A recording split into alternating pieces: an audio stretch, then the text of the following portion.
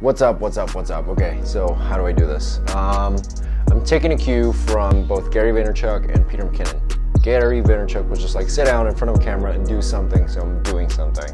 What kills me right now is I can't tell if this is still recording because the 6D Mark 1 has no articulating screen, so I don't know if this is still good. Um, the other thing is, um, yeah, I'm just kind of winging this. So I've got an audio pack here, my Zoom, is? My Zoom H2N handy recorder, which is cool, but I would rather have a lavalier recorder. I did have a lavalier set up with a Sony, um, like a teeny tiny Sony um, lavalier system just hooked up to my, um, to the 6D and I traveled with it and it got messed up. Sucks.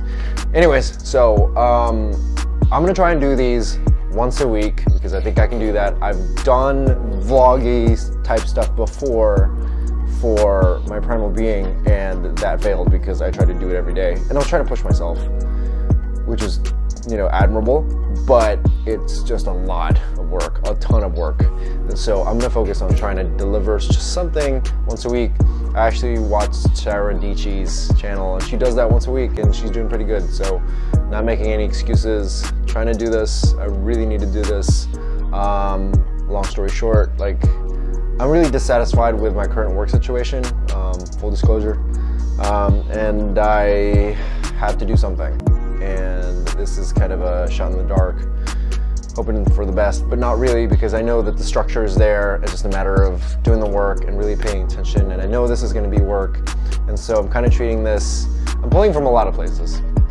Um, so bear with me. So I'm kind of also treating this like it's homework um, because up until this bears any fruit it's just going to be how it is.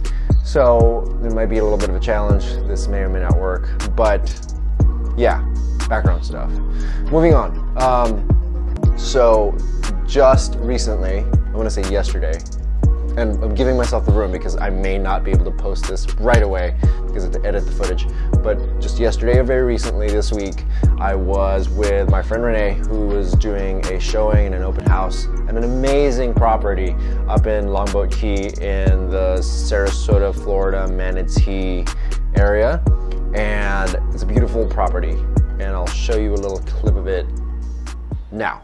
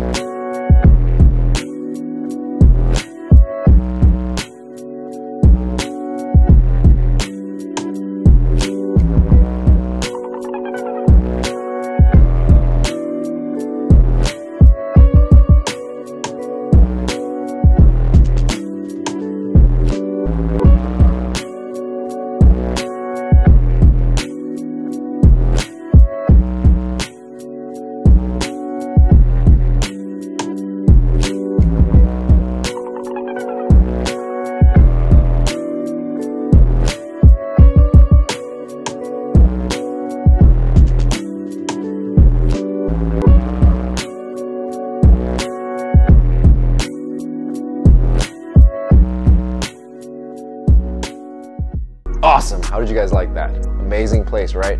So I was there and um, on my way there, I was absolutely freaking out because up until that day, and this is gonna be the real meat of the video, I hadn't, um, well, I made a boo-boo. I basically was out and about. I was carrying my camera, the 6D, and it had the 50 millimeter 1.8 STM on it, which is a phenomenal lens, and it got dropped on its face. And well, common thing that tends to happen apparently is it gets jammed up, and it got jammed up and I wanted so bad to be able to salvage that camera, but this is all that remains of the 50 millimeter. It's such a good lens. And I know it's a super cheap lens too, so that's cool, but just, oh man, it broke my heart to do it.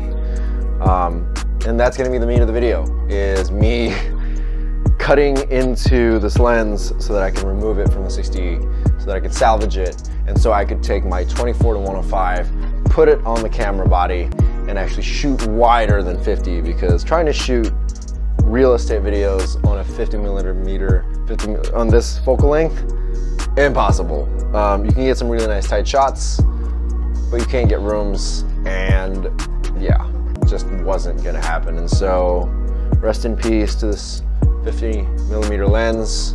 Lesson learned for me personally is don't be so cavalier, don't be so reckless with my equipment. Put it away or make sure that it's in a stable spot. Make sure that it doesn't fall on its face, especially at 50. So without much ado, here is me cutting into the 50 millimeter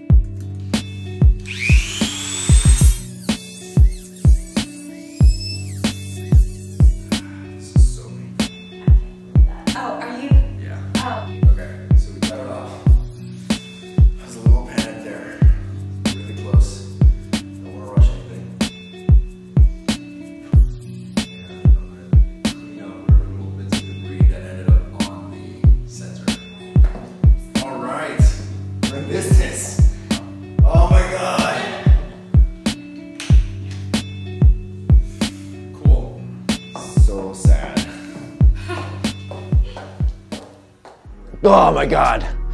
So sad watching that video. Um, so yeah, I hope you enjoyed it. I, or, or not. Um, hope you, maybe you got some sick pleasure out of watching somebody have to cut through an amazing lens and there is some value, some sentimental value to this actually. Um, but anyways, um, hope you enjoyed it. I'm gonna do my best to really crank out videos once a week and maybe do some other stuff. I'd like to feature some of the work that I've done with a couple of people, including my friend Megan, who is a uh, awesome, how do you call it, um, fitness role model, I would say. She's phenomenal. She is just a ball of light and uh, she's been absolutely an inspiring person and actually the reason why I'm pushing to do this and really make this happen. So I'm gonna link her stuff somewhere in here. Do check her out. She's awesome. I do a lot of work with her. I've been doing a bunch of work with her and I hope we can do some more work moving into the future. And I can just kind of ride her coattails and help her succeed. So um, yeah, hope you uh, guys enjoyed. Um, this is fucking terrible. And uh, I'll see you guys next week. Peace. Oh, uh, comment if you have any thoughts, like, subscribe, um, and share this video if you thought it was awesome to watch some guy cut into a 50 millimeter lens. Should put that in like slow mo. Take it easy. Bye.